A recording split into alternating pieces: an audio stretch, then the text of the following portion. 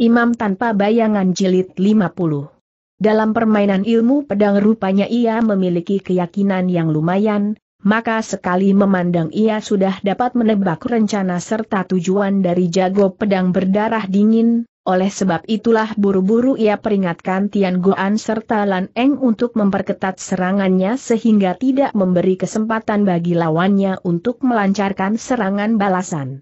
Lan Eng tertawa seram, ujarnya. Jangan khawatir, aku akan tetap menjaga di sudut sebelah sini. Permainan pedangnya tiba-tiba berubah, dia segera menyumbat sudut bagian tubuhnya, Beberapa kali jago pedang berdarah dingin berusaha menembusi pertahanannya namun setiap kali usahanya itu selalu mengalami kegagalan, dari situ dapat ditarik kesimpulan bahwa ilmu silat yang dimiliki Lan Eng sebenarnya sama sekali tidak lemah. Pek In Hui terkesiap kembali pikirnya. Aku harus berusaha keras untuk melenyapkan lebih dahulu salah satu di antara mereka, di antara ketiga orang ini ilmu silat yang dimiliki Tian Goan paling lemah. Ahm, benar aku harus musnahkan dirinya lebih dahulu, dengan begitu sisanya baru bisa kuhadapi secara baik. Kembali dia lancarkan sebuah serangan gencar ke arah Lan Eng dengan ilmu pedang penghancur Seng Suryanya, tiba-tiba di tengah jalan pedang itu menyeleweng dari arah yang sebenarnya dan menyongsong datangnya tubuh Tian Goan yang kebetulan sedang menerjang ke muka. Serangan itu cepat dan ganas sekali, sama sekali sulit untuk dihindari atau diegosi. Ah-ah-ah di tengah udara berkumandang suara jeritan lengking yang menyayatkan hati, diikuti darah segar berhamburan ke atas tanah, membuat ruangan kuil yang sudah menyeramkan itu nampak lebih mengerikan lagi. Batok kepala Tian Goan yang berlumuran darah menggelinding di atas lantai hingga beberapa tombak jauhnya dari tubuh kasarnya, raut wajah yang penuh berdarah itu nampak menyeringai seram, mendatangkan rasa muak bagi siapa pun yang melihat. Ia dengan membawa rasa dendam dan benci yang belum sampai dilampiaskan keluar telah pulang ke alam baka dan melapor ke hadapan Raja Akhirat, ia tak dapat merasakan lagi kehangatan tubuh perempuan, tak dapat menyaksikan gemerlapnya intan permata, tak dapat menikmati arak dan sayur, sebentar lagi tubuhnya akan berubah jadi seperangkat tulang belulang tanpa kepala. Perubahan ini terjadi terlalu cepat dan membuat semua orang sama sekali tak menyangka dan gelagapan, Mao Bong serta Lan Eng sama-sama berdiri menjublak, dalam keadaan begini mereka tak tahu apa yang mesti dilakukan oleh mereka. Sedangkan Cui Li merasakan hatinya amat sakit sebab kembali ia telah kehilangan seorang pembantu yang diandalkan, ia tak menyangka kalau Tian Goan bakal menemui ajalnya dengan begitu cepat. Hawa nafsu membunuh terlintas di atas wajahnya, dengan air muka berubah hebat bentaknya penuh kegusaran. Pek In Hui, engkau sungguh kejam. Bagian 47 Jago pedang berdarah dingin Pek In Hui dengan pedang penghancur Seng Surya di tangan berdiri angker di tengah ruangan. Kuil, air mukanya sama sekali tidak menunjukkan perubahan apa pun, sambil memandang kepada Mao Bong serta Lan Eng ujarnya ketus. Siapakah di antara kalian yang akan maju lebih dahulu Tian Goan berhasil kau bunuh mati, itu bukan berarti bahwa kemenangan pasti berada di pihakmu, teriak Cui Tekli dengan gusar, Pek In Hui, jika aku turun tangan sendiri maka pada malam ini engkau tak akan berhasil dapatkan keuntungan apa-apa. Jago pedang berdarah dingin Pek In Hui merasakan jantungnya berdebar keras, ia telah mengetahui sampai di manakah kesempurnaan tenaga dalam yang dimiliki Cui Tekli, seandainya berduel satu lawan satu kendati dirinya tidak berhasil merebut kemenangan, sedikit banyak ia masih mampu untuk mempertahankan keseimbangan, tetapi sekarang, kecuali Cui Tekli seorang masih ada Mao Bong serta Lan Eng dua orang jago lihai, dan ilmu silat yang dimiliki kedua orang itu pun luar biasa sekali, gabungan dari tiga orang jago pedang kenamaan bisa dibayangkan betapa luar biasanya keadaan itu, dan tak usah diragukan lagi, dia pasti akan mati konyol di tempat itu. Berpikir akan untung ruginya, ia tarik napas panjang-panjang lalu berkata setelah tertawa dingin. Toa Poocu, malam ini aku telah bertekad tak akan tinggalkan tempat ini dalam keadaan hidup, Tetapi jika kalian hendak berusaha untuk melenyapkan diriku maka pekerjaan tersebut bukanlah suatu pekerjaan yang terlalu gampang, paling sedikit di antara kalian bertiga ada dua orang di antaranya bakal mati konyol. HMMM Cui Tei mendengus dingin, kau hendak beradu jiwa dengan kami. Sedikit pun tidak salah, berada dalam keadaan seperti ini terpaksa aku harus beradu jiwa, aku percaya dengan kemampuan yang kumiliki paling sedikit dapat menarik dua kali modal yang harus ku keluarkan, Toa Poocu, bagaimana pendapatmu? Maobong jadi teramat gelusar sehingga sekujur badannya gemetar keras, ia getarkan pedang di tangannya dan maju dua langkah ke depan, sambil melotot ke arah jago pedang berdarah dingin dengan sinar mata penuh kebencian, serunya. Kami tak akan melepaskan dirimu pergi dari sini dalam keadaan selamat, sekalipun kau bersiap sedia untuk beradu jiwa belum tentu apa yang kau kehendaki bisa terwujud, Pek Inhawi. Ketahuilah bahwa komplotan tangan hitam bukanlah manusia-manusia yang gampang diganggu, kau telah menyalahi kami maka partai Tiam Chong kemungkinan besar akan tersapu rata dengan tanah, itulah harga yang harus kamu bayar karena sifatmu yang sudah mencampuri urusan orang lain. Setelah lewat malam ini jika aku belum mati maka aku pasti akan berkunjung kembali ke benteng Tiam POO, seru Pek In Hui nada menghina, akan kubasmi kalian anggota dari komplotan tangan hitam dan meratakan benteng KMPO dengan tanah. Waktu itu kalian jangan salahkan kalau aku jago pedang berdarah dingin tak kenal budi. Setelah berhenti sebentar, ditatapnya wajah Cui Tekli dengan pandangan geram, kemudian melanjutkan. Dan kau, aku tak akan mengingat semua hubungan kita untuk membinasakan dirimu, Cui Tekli. Engkau adalah otak dari peristiwa pembunuhan terhadap payahku, engkau adalah musuh besarku yang terutama, Hoa Pak Tuo, telah menceritakan semuanya kepadaku. Oh oh oh oh, engkau telah berjumpa dengan Hoa Pak Tuo, seru Cui Tekli dengan wajah tertegun. Ehm, bukan saja kami telah berjumpa, tetapi kami telah bicarakan termasuk pula banyak rahasia yang menyelimuti hubungan pribadi kalian berdua, ia telah memberitahukan kesemuanya kepadaku. Pada mulanya aku masih tidak percaya tetapi malam ini setelah ku saksikan dengan mata kepala sendiri semua tingkah lakumu. Dan ternyata cocok dengan apa yang dia katakan, maka aku percaya bahwa ia sama sekali tidak membohongi aku. Ia menghembuskan napas panjang, dengan wajah dingin dan memancarkan rasa dendam lanjutnya. Dia pun telah memberitahukan pula kerjasama antara engkau dengan Hoa Pek Tuo.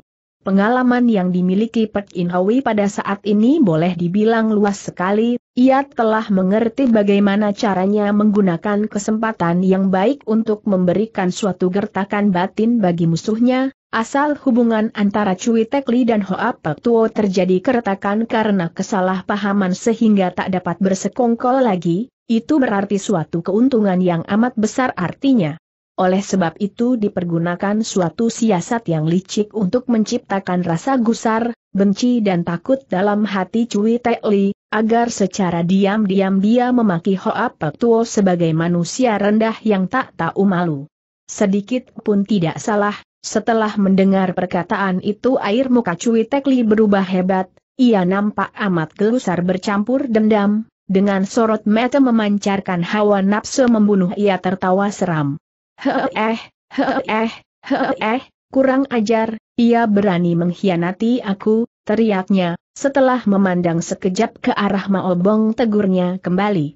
Maobong, kapan kau telah berjumpa dengan Hoa Pak Tuo kemarin malam, Hoa Pak Tuo datang mencari aku dan minta, Po Chu dalam keadaan bagaimanapun jangan lepaskan Pek In Hui, ia bilang dirinya mau berangkat ke benteng Kiam Peo untuk merundingkan sendiri suatu masalah besar dengan Po Chu. Kenapa ia datang tidak mencari aku seru Cui Tekli tertegun. Mao Bong berpikir sebentar, lalu menjawab. Ia tahu bahwa pada saat ini terjadi sengketa dari Po Chu dengan perkumpulan bunga merah, dia tidak ingin munculkan diri pada saat ini sehingga mengganggu Po Ocu. Diliriknya sekejap wajah jago pedang berdarah dingin, kemudian melanjutkan lebih jauh. Lagi pula dia tidak ingin bertemu dengan Pek In dalam keadaan begini. HMMM. Kurang ajar, ia berani main setan di hadapanku, seru Cui Li sambil mendengus dingin, ia pasti takut berhadapan tiga orang dengan kami berdua sehingga rahasianya terbongkar, omongnya saja enak benar, bangsat, bangsat. Poocu, seru mau bong sambil menggeleng, tidak pantas kalau engkau bentrok muka dengan Hoa Pek Tuo dalam keadaan seperti ini. Cui Li tertawa dingin. Heeh, eh, eh, aku tahu bahwa antara kamu dengan dirinya mempunyai hubungan persahabatan yang erat, tetapi engkau harus memandang lebih jelas lagi, Hoa Pek Tuo berani meninggalkan kita tanpa memikirkan bagaimana akibatnya, hal ini pastilah dikarenakan hendak mengatur manusia-manusia racunnya yang berada di dalam perkampungan Tai Bie San Chung untuk memusuhi kita dari komplotan tangan hitam. HMMM Sedari dulu aku sudah tahu kalau orang itu tidak bisa dipercaya, sedikit pun tidak salah, ternyata secara diam-diam ia telah mengacau tindak tanduk komplotan tangan hitam kita.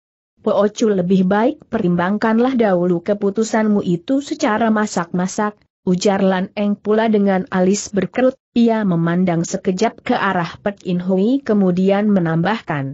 Hati-hati, kalau musuh sedang menjalankan siasat mengadu domba, jangan sampai Poocu termakan oleh siasatnya. Tidak mungkin jawab Cui Li sambil menggeleng, seandainya Hoa Pek Tuo tidak memberitahukan segala sesuatunya. Kepada Pek In Hui, dari mana ia bisa tahu akan kesemuanya itu? Lagi pula urusan itu hanya diketahui olehku dan Hoa Pek Tuo dua orang belaka.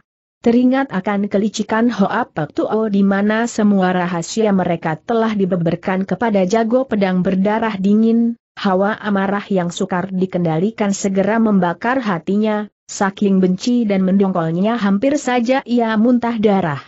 Menggunakan kesempatan itulah Pek In Hui berkata kembali, mengenai rencana besar Po Chu untuk melenyapkan pelbagai partai dari dunia persilatan serta merajai kolong langit, Hoa Pek Tuo telah mengutus orang pula untuk mengabarkan rahasia itu kepada pelbagai partai, saat ini semua aliran sedang mempersiapkan kekuatan intinya untuk bersedia melakukan pertarungan sengit melawan Po Chu dan kemudian hari. Dengan andalkan dugaan hatinya yang jitu ia memberikan kegugupan dan ketidaksenangan bagi Cui Po Chu dari benteng Kiampeo ini, itulah suatu siasat yang paling jitu di dunia Kangou, Selama hidupnya Cui Li sering kali mengadu domba orang, mimpi pun ia tak pernah menyangka kalau pada malam ini bakal jatuh kecundang di tangan jago pedang berdarah dingin, adu dombanya membuat hawa amarah yang berkobar dalam dadanya sukar dikendalikan lagi, rasa bencinya terhadap Hoa Pek Tuo pun semakin menjadi. Dengan hati terkesiap Cui Li segera berkata, Hoa Pek Tuo tidak akur dengan pelbagai partai dan aliran, mana ia berani mengadakan hubungan dengan pelbagai partai.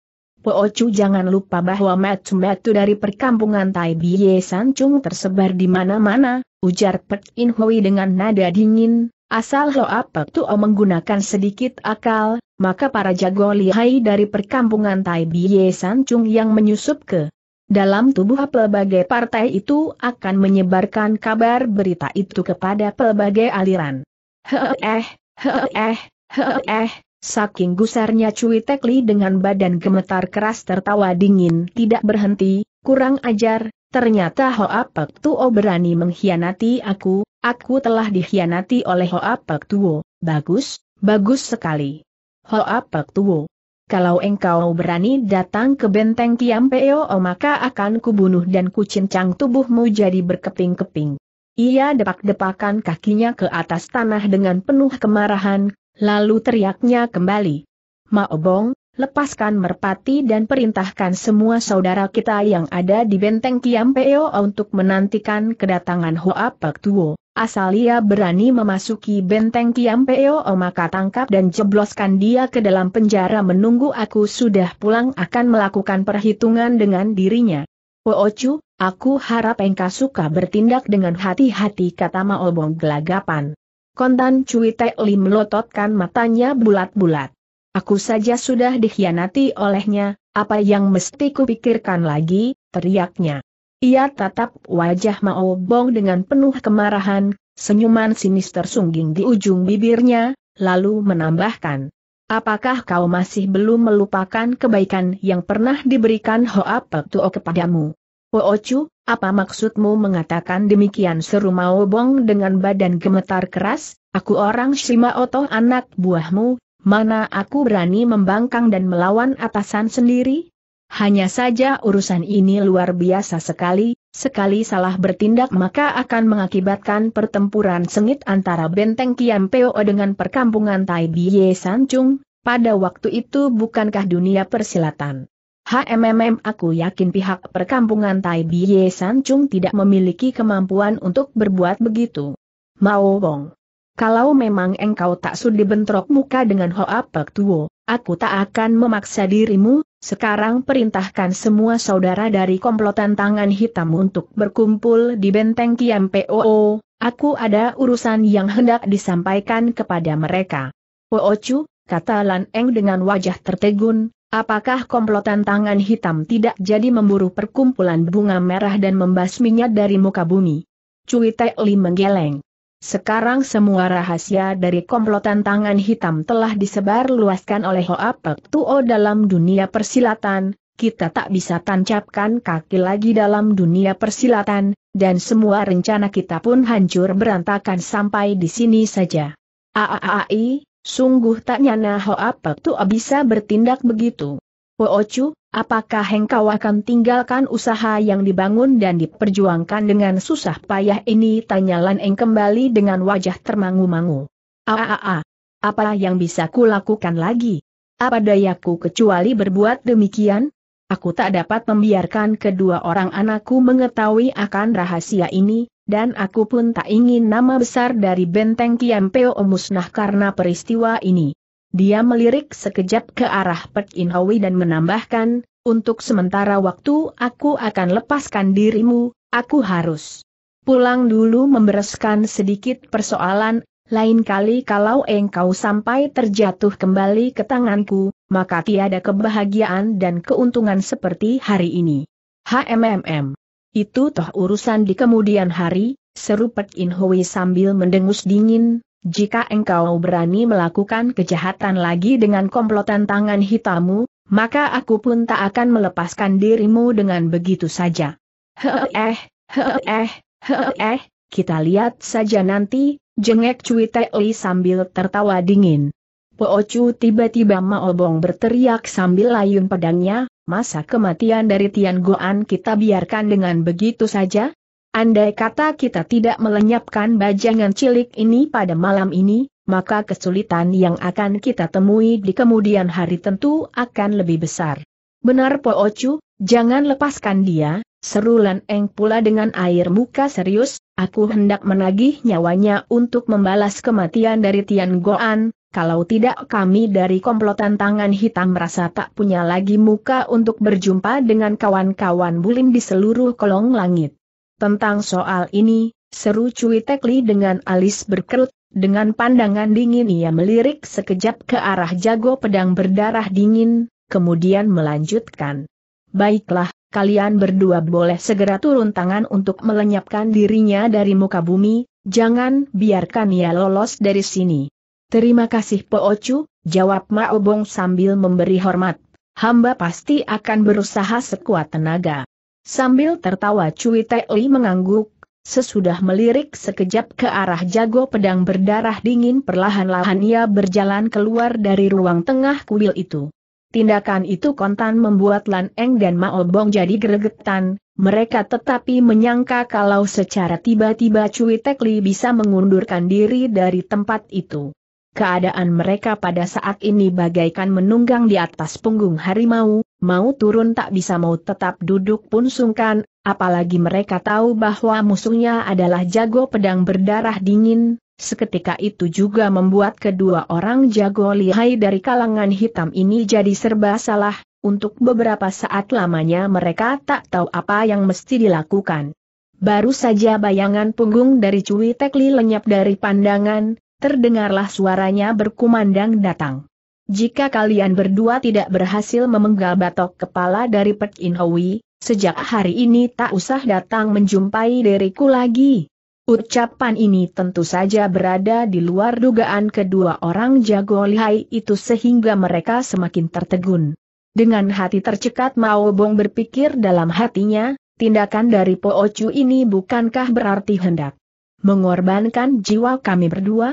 Terang-terangan ia tahu kalau dengan andalkan kekuatanku serta kekuatan Lan Eng tak mampu menandingi Pek In Hui, tapi sengaja ia berbuat begitu. Ia melirik sekejap ke arah Lan Eng, kemudian katanya, Lan Heng, terpaksa kita harus mengeluarkan segenap tenaga untuk membereskan bajangan ini. Benar, kalau kita berdua tak mampu untuk menaklukkan keparat cilik ini, maka mulai hari ini kita pun tak usah bertemu dengan orang lagi. Ia tarik napas panjang-panjang lalu angkat pedang dengan penuh keseriusan, dalam waktu singkat kedua orang itu dari arah yang berlawanan telah menerjang ke arah Pek In Hui. HMMM. Rupanya kalian berdua benar-benar sudah bosan hidup? Seru si anak muda itu sambil mengegus ke samping. Ia menyadari bahwa kedua orang jago lihai itu bukan manusia sembarangan, untuk melenyapkan mereka berdua dalam waktu singkat jelas bukan suatu pekerjaan yang gampang, diam-diam hawa murninya disalurkan ke ujung pedang sehingga timbullah keluar dengungan nyaring yang memekakkan telinga. Dalam waktu singkat ketiga orang itu sudah saling bergebrak sebanyak dua tiga puluh jurus banyaknya. Perlahan-lahan Cui Tekli berjalan keluar dari kuil Toa Ong Bima meninggalkan ketiga orang jago yang sedang bertempur sengit, Sekilas rasa bangga tersungging di ujung bibirnya. Belum habis ia melamun, tiba-tiba air mukanya berubah hebat, karena secara mendadak ia temukan seorang gadis berdiri di bawah sebuah pohon sambil memandang ke arahnya dengan pandangan penuh kegusaran. Cui Tekli tertegun, lalu katanya. It Bun Leng Chu, kenapa engkau pun datang kemari HMMM? Aku sedang menyaksikan permainan setan apakah? yang sedang dilakukan oleh manusia yang paling licik di kolong langit pada malam ini. Kau maksudkan diriku? Itbon Pit Giok mendengus dingin. HMMM. Siapa yang licik dialah yang kumaksudkan, apakah Toap Poocu adalah seorang manusia licik katanya. Cui Tekli jadi naik pitam, dengan gusar serunya. Apa yang telah kau lihat? Berani benar mengucapkan kata-kata yang tidak senonoh. It Bon Pit Giok tertawa dingin. Heh, eh, heh, eh, aku saksikan kematian dari Tian Goan, menyaksikan pula Mao Bong Seralan Eng akan mati. Toa Po. Bukankah beberapa orang itu adalah anak buahmu? Kenapa engkau tidak membantu orang sendiri malahan lari keluar seorang diri? HMMM. Itu urusan pribadiku tentu saja urusan pribadi komplotan tangan hitam kalian, dan dengan diriku sama sekali tak ada hubungannya, jengek gadis itu sinis, cuma ditinjau dari urusan sekecil ini bisa terlihat betapa bahaya dan liciknya engkau jadi manusia, orang seperti engkau mana mampu untuk merajai kolong langit? Kau cuma pandai melampiaskan rasa dendam pribadi, kau tak pernah menilai sampai di manakah kesetiaan dari anak buahmu, asal seseorang berani membangkang perintahmu maka engkau segera berusaha keras untuk melenyapkan dirinya. Apa maksudmu Cui Tekli semakin gusar? HMMM. Gampang sekali, aku lihat engkau menginginkan Mao Bong serta Lan Eng sama-sama menemui ajalnya di tangan jago pedang berdarah dingin, perbuatanmu ini benar-benar mengagumkan sekali.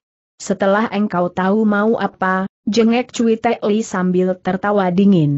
Tiba-tiba Ritbon Pit Giok menengadah dan tertawa terbahak-bahak. Haaah, haaah, haaah, tentu saja tak bisa apa-apa, Maobong serta Lan Eng suka mati dengan care bagaimana mereka boleh mati dengan care disukainya, apa sangkut pautnya dengan diriku? Cuma, caramu membunuh orang ini dengan cepatnya akan tersiar di kolong langit.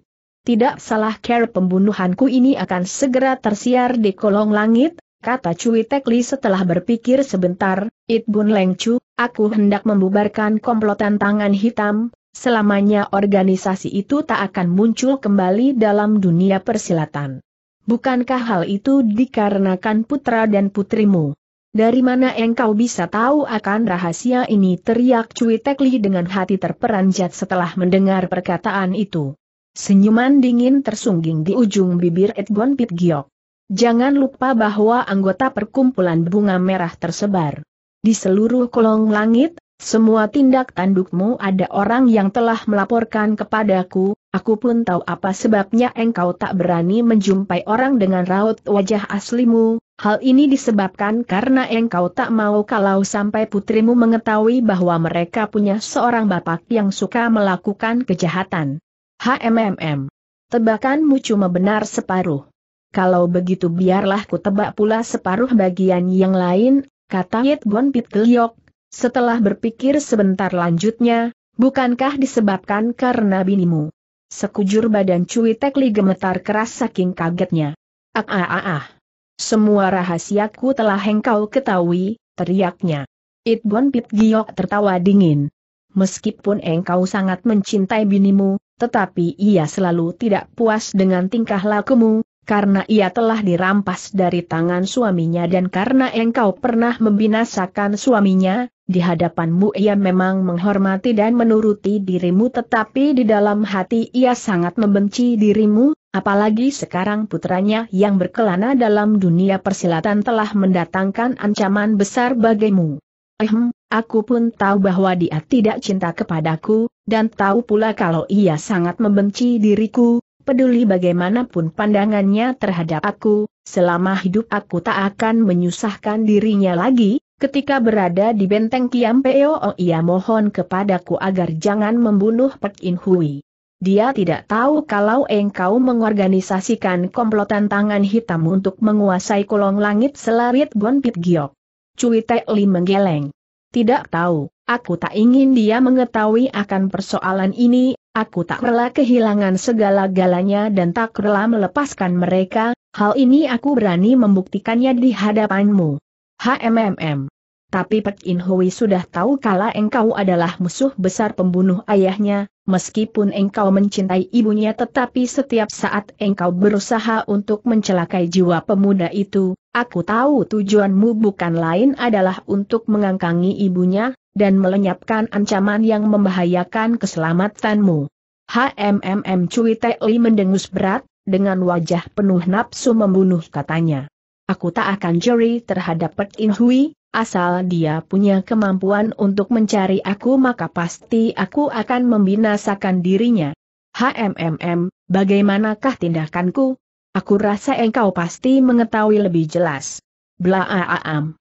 Dari tengah ruang kuil yang sedang berlangsung pertarungan tiba-tiba berkumandang datang suara bentrokan keras, tanpa terasa Hit Gon Pit Giok serta Cui Tekli berpaling ke arah pintu kuil.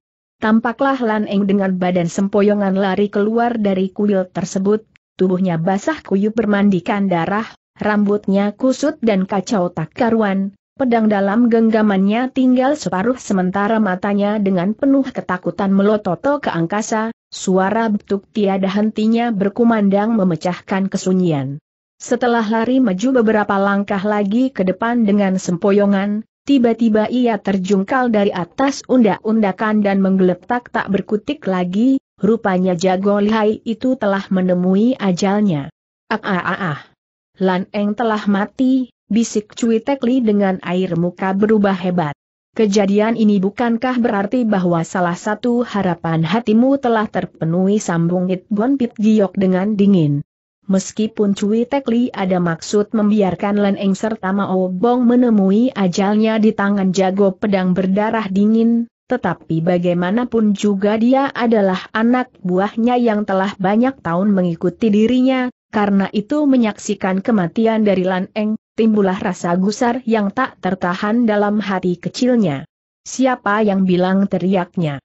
HMMM. Mau apa kau bersikap begitu galak terhadap diriku kata Gon Pit Giok dengan ketus, Cui Tekli ketaulah manusia yang paling licik di kolong langit adalah engkau, setiap orang yang tenaganya telah engkau pergunakan tentu kau usahakan pembunuhan terhadap dirinya dengan meminjam tangan orang lain, dan malam ini kerlamat tersebut kau pergunakan lagi, apakah aku telah salah bicara? Tanda petik. engkau sama sekali tidak salah, yang salah adalah mengapa engkau bertemu dengan aku. HMMM, HMMM, secara beruntun anak buahku telah beberapa orang menemui ajalnya, bagaimanapun juga aku harus carikan sedikit pokok untuk membeli peti mati bagi mereka. Heeh, heeh, heeh. Itbon Pit Giok malam ini adalah saatnya bagi kita untuk membereskan soal hutang piutang antara komplotan tangan hitam dengan perkumpulan bunga merah. Oh oh oh oh. Jadi engkau hendak menantang aku untuk berduel jengek Itbon Pit Giok sambil tertawa dingin. Cui Tekli segera ayukan tangannya ke depan, di atas telapak kanannya tiba-tiba memancar keluar selapis cahaya terang berwarna hitam, dengan wajah diliputi nafsu membunuh ia melotot ke arah Hitbon Pit Giok dengan penuh kegusaran, serunya. Kau anggap aku tak berani melayani dirimu. Heeh, heeh, heeh. Itbon Pit Giok, dahulu aku tak ingin bentrok muka dengan dirimu, hal tersebut dikarenakan di belakang tubuhmu masih ada tiga orang yang bertindak sebagai tulang punggungmu, dengan andalkan kekuatan dari benteng Kiampeo kami masih belum mampu untuk menghadapinya, akan tetapi sekarang, ketiga orang telur busuk tua di belakangmu itu sudah tak perlu ditakuti lagi, kenapa aku mesti jare kepadamu? Itbon Pit Giok tertawa dingin. Kau anggap mereka benar-benar bersumpah tak akan munculkan diri lagi di dalam dunia persilatan. Perkumpulan bunga merah pimpinannya berani menentang komplotan tangan hitam sebagian besar bukanlah dikarenakan jumlah anggota perkumpulan bunga merah jauh lebih kuat dari orang-orang komplotan tangan hitam, yang paling utama adalah takutnya Cui Tekli terhadap orang dari luar lautan, oleh sebab itu Cui Tekli selalu berusaha untuk menghindari gadis itu dan tak berani bentrok langsung dengan dirinya, ia takut karena kejadian itu maka akibatnya akan memancing kehadiran dari Hei Gwe Asemsian. Tetapi bulan berselang secara tiba-tiba tiga dewa dari luar lautan telah menyatakan bahwa selama hidup mereka akan mengundurkan diri dari dunia persilatan dan tak akan mencampuri urusan dunia persilatan lagi, bahkan segera pulang keluar lautan dan bersumpah tak akan menginjakan kakinya di daratan Tionggoan lagi, Hal inilah yang membuat rasa takut Cui Tekli seketika lenyap tak berbekas. Setelah berdiri tertegun beberapa saat lamanya pemilik dari benteng Kiampeo ini segera menukas. Apakah perkataan mereka ibaratnya kentut busuk? HMMM. Suhu dan Supeku bukan manusia semacam itu, meskipun mereka telah bersumpah tak akan menginjakan kakinya di daratan Tionggoan lagi, tetapi mereka tidak mengatakan bahwa anak muridnya tak boleh munculkan diri dalam dunia persilatan. Selama aku Ritbon Pit Gio masih berada di sini, aku sama saja masih mampu untuk menaklukkan dirimu. Haaah, haaah, haaah, Cui Tekli tertawa seram, dengan andalkan kemampuan yang kumiliki, kenapa aku dijeri terhadap budak ingusan macam yang mau? Hm, hek ehm, kau jangan terlalu pandang rendah diriku, dayang ingusan, perhitungan Siepoamu kali ini keliru besar, di kolong langit-langit kecuali tiga orang tua bangka yang tidak mati-mati dari luar lautan, tak ada orang yang kutakuti lagi. Telapak kanannya berputar di udara dan segera muncullah segulung angin pukulan yang santer dengan dahsyat angin serangan tadi menerjang ke tubuh gadis tersebut. Rasakanlah pukulan Tui Hiat Chiangku, teriaknya. Meskipun angin pukulannya yang dipancarkan amat dahsyat, tetapi bila mengenai di tubuh orang sama sekali tidak menimbulkan rasa sakit barang sedikit pun juga, akan tetapi hawa pukulan itu akan memaksa bergolaknya darah dalam tubuh manusia hingga menyebabkan pembekuan dan menggumpal jadi satu. Namun kelihayannya bukan terletak pada hal itu saja, aliran darah manusia dalam tubuhnya akan mengalir secara terbalik dan tidak sampai setengah jam kemudian dari tujuh lubang inderanya akan mengucur darah hingga akhirnya mati. Kepandaian tersebutlah merupakan ilmu telapak andalannya, cuma saja tak pernah dipergunakannya secara sembarangan kecuali telah bertemu dengan musuh tangguh. Bagaikan selembar daun kering yang melayang di udara, dengan lincah Bon Pit Giok melayang di udara lalu berkata sambil tertawa. Titik 2. Ilmu telapak semacam ini belum tentu lihai dan luar biasa. Di luar saja gadis itu bicara enteng, padahal dalam kenyataan telapak lawan laksana sambaran kilat telah membabat keluar, tubuh Cui Tekli bagaikan sesosok sukma gentayangan menyusul ke depan, dari telapak ia rubah jadi cengkeraman dan mencakar tubuh gadis itu. Bagaikan seekor ular lincah Bon Pit Giok berkelejit dan menghindar ke samping. Poocu Tiba-tiba dari balik ruang kuil berkumandang keluar jeritan keras yang mengandung rasa gelisah dan ngeri, Mao Bong dengan sepasang mata memancarkan sinar merah serta wajah memancarkan rasa ketakutan lari keluar dengan sempoyongan, darah segar mengucur keluar dari atas dadanya. Hei, jangan lari teriak jago pedang berdarah dingin sambil menyusul dari belakang. Mao Bong. Mao Bong, teriak Cui Tekli tertegun, dengan cepat ia melayang turun ke atas tanah. Sekujur badan Mao Bong gemetar keras, teriaknya, Po Chu. Cepat Cui Tek Li maju menyongsong ke depan, tetapi baru saja tubuhnya bergerak tiba-tiba jago pedang berdarah dingin sambil. Ayun pedangnya telah menyerah ke arahnya, hal ini membuat jago lihai dari benteng Kiam Po mundur ke belakang dengan ketakutan. Apa maksudmu bentaknya dengan gusar? Nafsu membunuh terlintas di atas wajah Pek In Hui, bentaknya. Titik dua. Ma Obong, apa yang kau katakan tadi apakah sungguh-sungguh terjadi? Ma Obong apa yang telah kau katakan kepadanya tegur Cui Tekli dengan wajah tertegun. Dengan penuh penderitaan Ma Obong mengerang kesakitan, sekujur badannya gemetar keras, tiba-tiba ia menubruk ke depan sehingga pedang menembusi lambungnya hingga tembus ke belakang, jawabnya dengan suara terpatah-patah. Poocu, aku, aku dipaa, dipaksa untuk mengatakan bagaimana ayahnya mati. W.S. Cui Tekli Ayun telapaknya menggaplok, Maobong jatuh terjengkang ke atas tanah, makinya. Kau bajingan telur busuk. Sekujur badan Maobong gemetar keras, serunya dengan sedih, Poocu, Poocu, kau, belum habis dia berkata tiba-tiba jago lihai Shimao itu muntah darah segar, setelah melotot sekejap ke arah Cui Tekli dengan pandangan dendam, ia hembuskan napasnya yang terakhir dan menyelesaikan perjalanannya yang singkat di alam dunia. Cui Tekli, bentak Pet In dengan gusar, sebenarnya bagaimana ayahku bisa mati? Ayo jawab. Engkau toh sudah mengetahui kesemuanya, apa yang mesti ditanyakan lagi, sahut Cui Tekli dengan hati bergidik. Serahkan nyawamu. Aku tidak akan melepaskan dirimu lagi. HMMM. Aku tidak percaya kalau engkau bisa membunuh aku. Pada saat ini seluruh benak jago pedang berdarah dingin telah dibakar oleh hawa amarah yang sukar dikendalikan lagi, dengan penuh kemarahan ia berteriak keras. Kentut busuk, aku bersumpah akan membinasakan dirimu.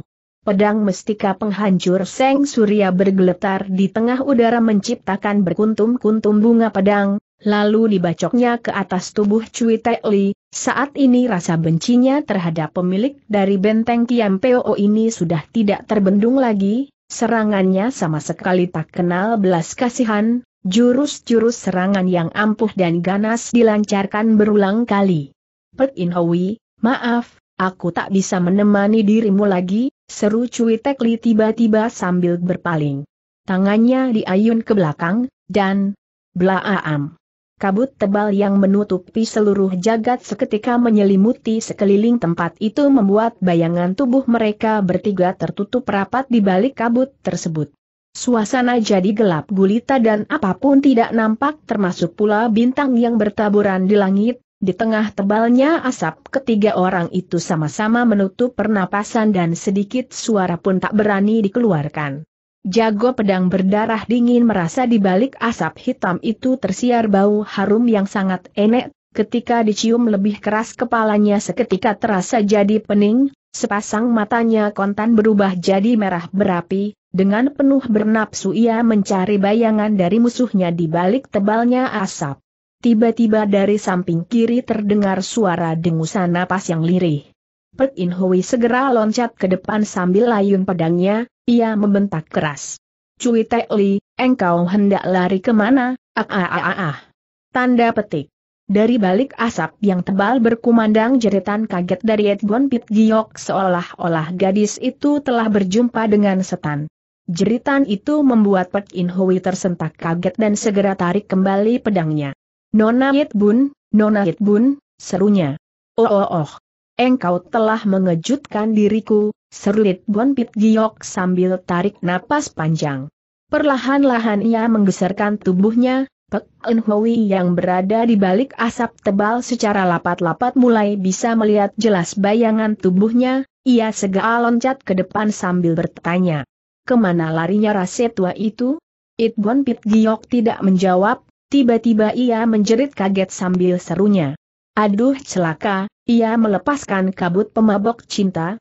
Dari balik kabut yang tebal terdengarlah Cui Tekli tertawa terbahak-bahak, Suara tertawanya begitu dingin dan mengerikan bagaikan jeritan setan atau sukma gentayangan, ketika terdengar dalam pendengaran terasa nyeri dan mengakibatkan bulu kuduk pada bangun berdiri. Apakah yang engkau tertawakan teriak Pek In Hui? HMMM. Selamanya engkau tak akan berhasil mengejar diriku. Pek In Hui. Kabut pemabok cinta yang kubuat sendiri ini tak ada yang bisa mempertahankan diri, baik-baiklah lewatkan malam yang indah ini di sini serta nikmatilah sorga dunia yang belum pernah kau cicipi. Perkataan itu makin lama semakin lirih dan akhirnya hilang dari pendengaran, beberapa kali jago pedang berdarah dingin akan melakukan pencarian atas tempat persembunyian dari Cui Tekli, akan tetapi setiap kali pula dia temu kegagalan, namun pemuda itu tidak putus asa dicarinya sekeliling tempat itu dengan seksama.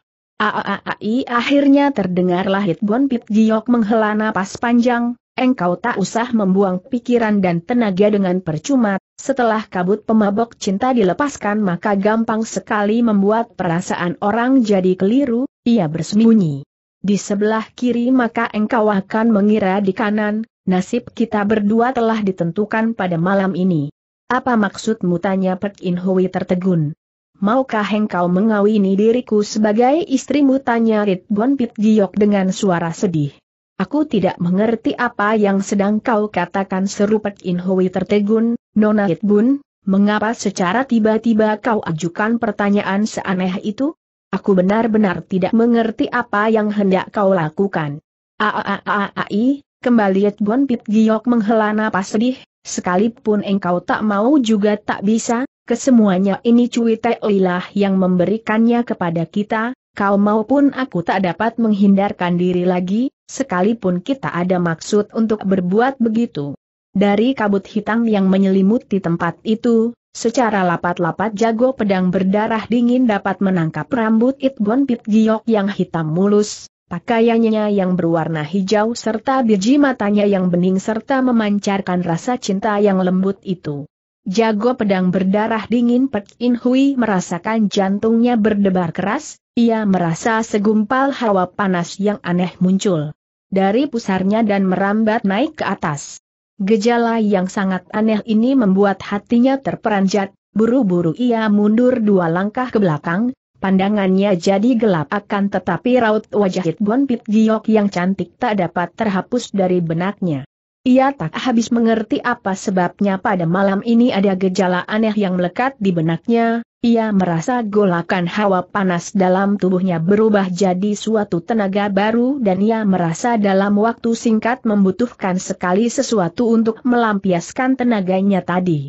Ia tertegun dan pikirnya di dalam hati. Apa yang sebenarnya telah terjadi? Apa yang sebenarnya telah terjadi? Pelbagai ingatan berkelebat dalam benaknya, tanpa sadar keringat dingin telah membasahi seluruh tubuhnya, penderitaan yang dialaminya pada saat ini sukar dilukiskan dengan kata-kata, dan merupakan satu pengalaman aneh yang belum pernah dialami sebelumnya, ia merasa dalam hatinya timbul suatu kebutuhan, semacam gaya tarik-menarik antara lawan jenis yang berbeda. Aaai. Inhui kemarilah, Itbon Pit Giok berbisik sambil menghela napas sedih.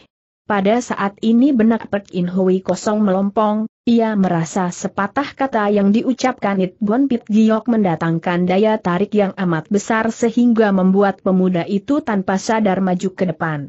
Air muka Itbon Pit Giok berubah jadi bersemu merah, rasa cinta dan birahi terpancar keluar dari balik matanya, begitu cantik dan ayu mempesonakan hati membuat Pek In Hui hampir saja tak mampu menguasai diri.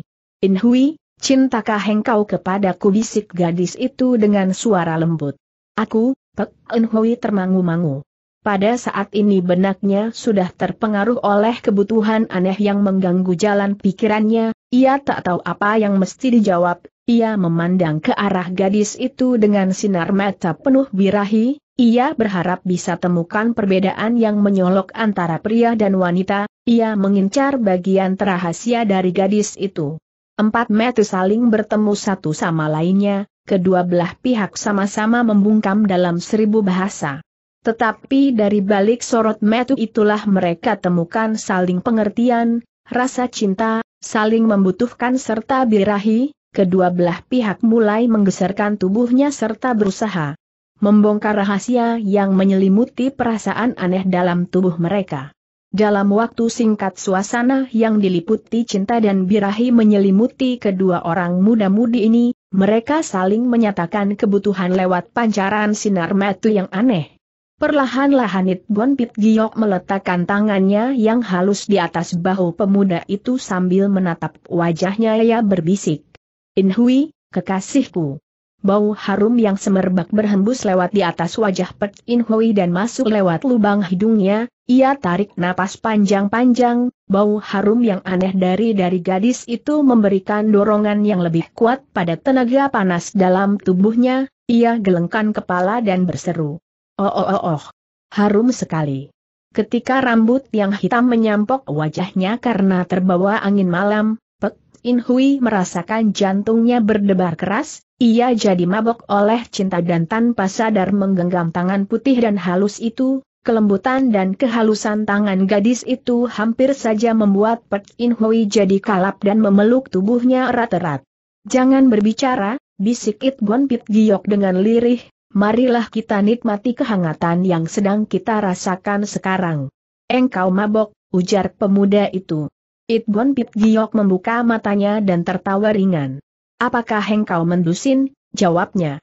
Di tengah keheningan, kedua orang itu terbawa oleh arus cinta serta birahi yang kian lama kian menebal, dengan cepatnya mereka terseret ke alam yang lain, saat ini mereka saling membutuhkan, saling memadu cinta, Perlahan-lahan Pet In Hui memeluk pinggangnya, It Bon Pit Giok sambil memejamkan mata jatuhkan diri ke dalam pelukannya, sepasang bibir yang merah dan mungil perlahan-lahan diangkat ke atas menyongsong datangnya bibir dari pemuda itu.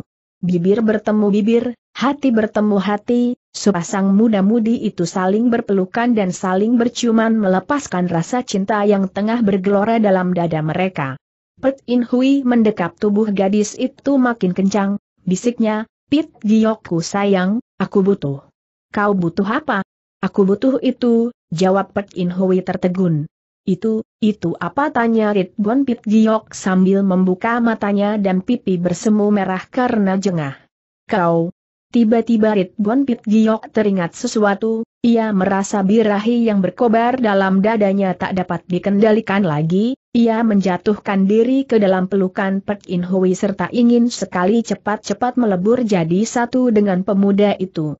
Pada saat ini darah ayu tersebut telah lupa segala-galanya, lupa kalau dia adalah gadis, lupa kalau ia masih gadis perawan yang belum pernah dijamah orang, saat ini kesombongan dan keangkuhannya telah lenyap, pikirannya kosong melompong, yang ada hanya nafsu birahi serta keinginannya untuk sesuatu.